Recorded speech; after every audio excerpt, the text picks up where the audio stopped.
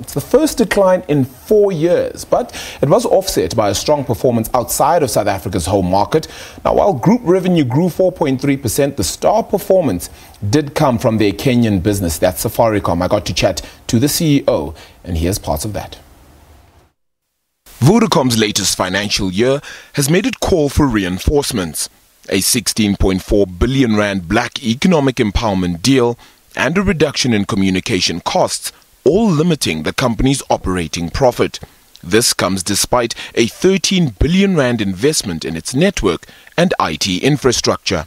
It's been a good year in, in, in, a lot of respects, but tougher in South Africa, uh, but deliberately because we were, we were repricing uh, and went through a, a, price transformation journey, as well as you know the economy being uh, being under pressure. Very strong performance in our international operations, 15.6% growth. So you know really pleased about that, and a 14.7% growth um, in in uh, profits in um, from Safaricom. So you know. Uh, when we look at the three segments overall, I think I think really um, excellent performance. Also, we continue to gain customers, almost 6% up in customers, 110 million customers across the group. So, so one's feeling, you know, um, happy in terms of the overall result. Yeah.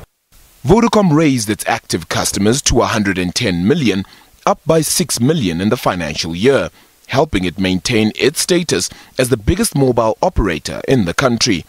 Net profit hit 24.5 million rand, rising by 200 million in a year where service revenue was strong.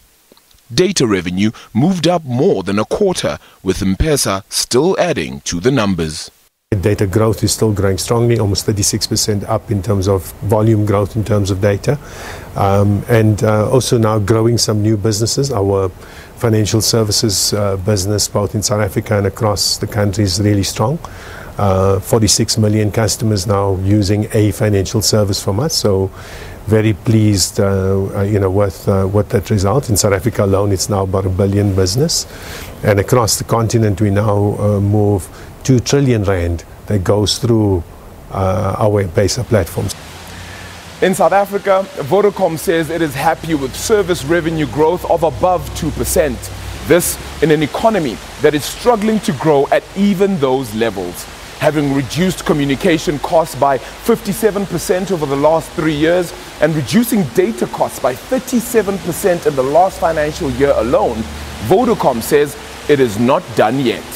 Well, I think it's um, you know like one, one of the big focus areas for us uh, this this time around is to focus on some of the monthly packages where we want to make further price reductions. Um, we've already reduced the out of bundle rates, but we've also created a lot more URL based bundles, so um, and, and daily, hourly, weekly, fortnightly bundles.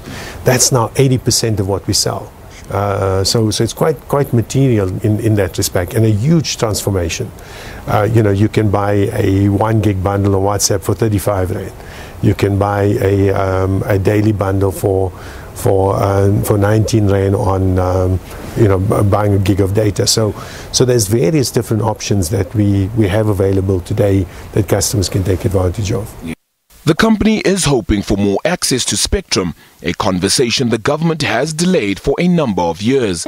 Vodacom says it awaits further talks with Nkosana Makate regarding the long-standing Please Call Me case. Joosub says the matter is under review. Arabile Gumede, SABC News, Midrand.